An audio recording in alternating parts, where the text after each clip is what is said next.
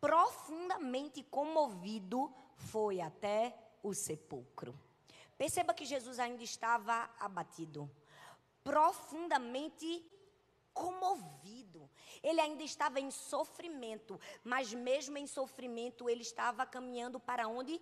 Para o sepulcro, para o lugar de morte, para o lugar de dor. Porque Jesus estava deixando uma lição para mim e para você. Eu estou chorando, mas eu continuo caminhando em direção ao meu milagre.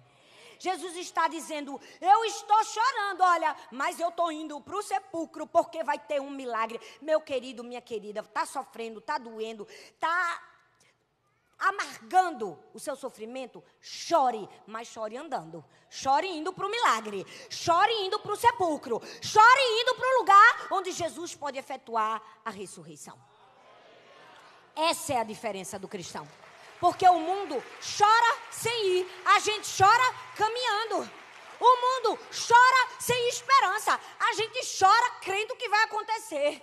O mundo chora sem saber fazer. A gente chora sabendo o caminho. Chore, mas vá para o lugar certo.